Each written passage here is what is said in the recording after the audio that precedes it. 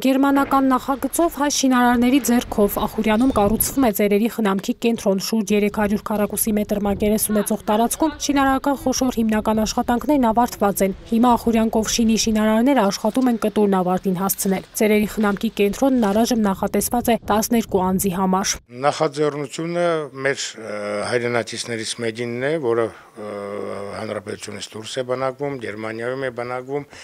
ինքը հիմնականում իր լիազոր ներկայացուցիչներ է նշանակել, ովքեր զբաղվում են իրեն հանրարարությամբ կատարում են այդ աշխատանքները։ Կենտրոնի միջնամասի ջերմությունը Penoplex շինարարական նյութով է ապահովելու։ Սա աշխեգի կարծիքով նորույթ է շինարարության մեջ։ Եվրոպայում նաև Ռուսաստանի Դաշնությունում շինանյութի այս տեսակը ամենից շատն է սպառվում։ Նաև հատակը տակածվող է լինելու։ Շենքի առաջին մասնաշենքի աշխատանքները գրեթե ավարտվում են։ Բետոնային աշխատանքները լրիվ ավարտված է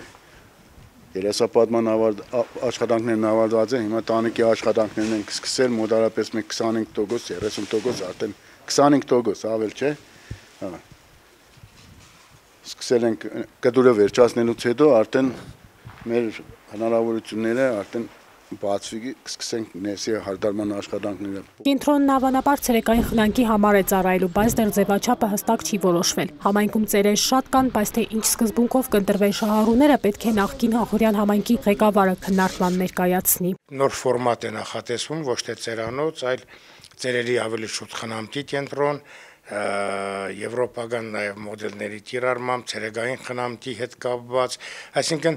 դա ընթացքում Նաև հաշվի առնելով շահառուների կարծիքը,